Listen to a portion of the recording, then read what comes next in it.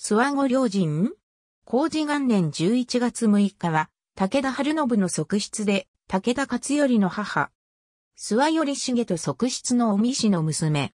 諏訪後、両人とも表記される。異母帝には、頼重の皇室のネネの産んだ虎王がいる。実名が不詳で、資料上においては、諏訪後良人、諏訪御前と記されている。諏訪後良人の少年は確実な資料からは判明しないが、紅葉軍艦によれば、諏訪後良人が信玄に腰入れしたのは、天文14年に14歳の時とされており、これに従えば、東ル6 2年生まれとなる。紅葉軍艦では、諏訪後良人を隠れなき美人と記しており、要望を称えている。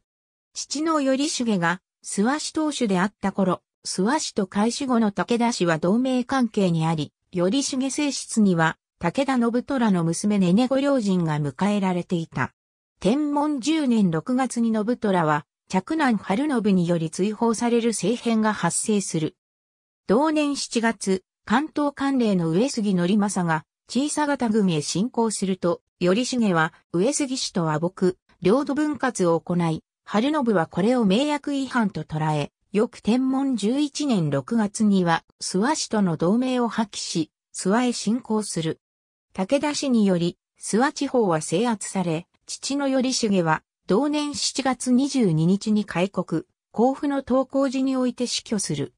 信玄は、当初、諏訪家僧侶に頼重と、ねねご両人の子である、千代宮丸を擁立したが、やがてこれを破棄し、自らが頼重の娘を側室に迎え、生まれた男子に、諏訪僧侶化を継承させる路線を選択したという。諏訪御両人が海へ腰入れした時期は、天文12年説、天文14年説がある。天文12年説は、高次路再起、天文12年12月15日上に、熱より、御前様が腰入れしたと記されている記述を、諏訪御両人の腰入れと解釈したものである。この説は、根拠が不詳で、武田経図によれば、熱玄直の娘が信玄の側室として化している。ことから、熱より、御前様を、諏訪御両人に否定することには慎重視する説もある。建福寺一方、天文14年説は、紅葉軍艦によるもので、諏訪御両人は、天文14年14歳の時に信玄の側室となり、甲府のつつじが先館に迎えられたという。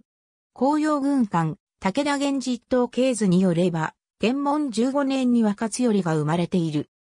紅葉軍艦によれば、頼重の娘である、諏訪御両人を迎えることには、武田屋中に反対論があったと言われ、山本勘助が家中を説得したとする逸話を記している。諏訪御両人は、工事元年11月6日に死去する。没年は、天文23年とも。墓所は、長野県稲市高東町の県福寺。鉄山集によれば、法名は、乾福寺戸の梅岩廟高大前上に。なお、長野県岡谷市の小坂観音院にある墓は、戦後に井上康の小説、風林火山で湯布姫が過ごしそこで死去したという設定により、現代になってから建てられた。武田押月町三番によれば、永禄、また、鉄山集、仏言前寺五六によれば、勝頼は、元気2年11月1日に、高藤において、鉄山総順を招いて17回忌の法要を実施している。なお、春信の側室になるにあたり、敵将の娘では都合が悪いため、熱玄直の養女になったとの説があり、この場合、熱語領人と同一人物とされる。この説に従えば勝頼だけでなく、信清も諏訪御領人の子ということになり、信清の青年とされる永禄3年、または永禄6年まで生存していたことになる。早くに死去した諏訪御領人に比べ、その聖母のおみ氏は、武田家の当主となった武田勝頼の外祖母として、天正10年3月の武田死滅亡まで存命している。太方様と称された。天文11年に夫の頼重が切腹し、諏訪総領家が滅亡した後は、同じ諏訪氏の一族の熱玄直のもとに、娘と共に身柄を預けられていたという説がある。熱玄直の息子の熱上平は、武田信虎の娘婿でもあり、武田氏と諏訪氏双方と関わりが深かったため、熱原直のもとに、尾身氏と諏訪御両人は預けられたと考えられている。その後、何年かは不明だが、娘が信玄に嫁いだ後、尾身氏は引き続き、熱原直のもとに身を寄せていたと思われる。新州日配帳によれば、永禄8年3月21日には勝頼による逆祝用が行われている。勝頼と共に高東城で暮らしていたという。天正3年11月に勝頼が諏訪南宮へ奉納した胸札には、勝頼着男の信勝と共に、ご祖母の名が記されている。天正6年10月には、悲観の池上清左衛門が無足で奉公していたことを知った尾身氏は、勝頼の側近をばらつぎ中、後部勝中に依頼し、彼に五巻分の所領を与えてくれるように頼み、それを実現させたという。尾身氏直筆の金書きに朱印を据えた消息も残されている。